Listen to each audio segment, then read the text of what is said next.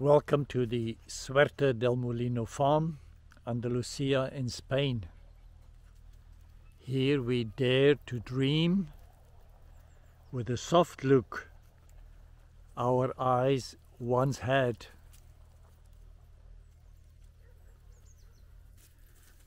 Once again, a heat wave in Andalusia, and our plants are deflated shriveled leaves and withering. Here we are looking for the ultimate dream tree. Let's call it the Andalusian super tree. Maybe we can use the CRISPR biotechnology to create our tree something with deep roots, fast growing, multiple benefits, food and fruit, self-fertility, a nitrogen fixer, something that is salt tolerant. Will we find that tree? We have our almond trees they are very special. They are quite drought tolerant. Their roots can grow up to six meter deep. And on the surface of the leaves they have these stomata, these pores that regulate the flow of gases and they can close them so that it eradicates evaporation. These almonds, they are the Dulcis variety.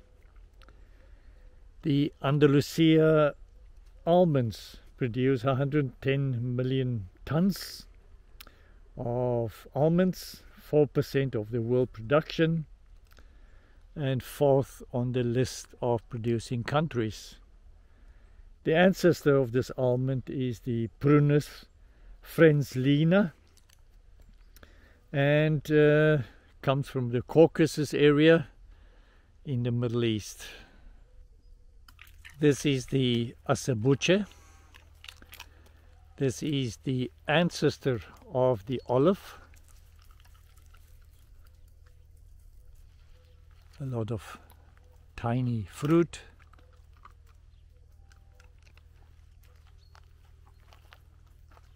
This tree, the root system goes down up to 10 meters. It is wind resistant because it has a wide root base and it's the perfect tree for this area except it doesn't produce that much in the sense of fruit. This is the olive in this case the variety Manzanilla. This is the star producer of Andalusia. The top varieties are Arbequina, Hojiblanca and Picual. Now these olive trees they produce about 6 million metric tons of olives in Andalusia, a fifth of the world's production, 1 billion liters of olive oil, but all depending on the heat waves.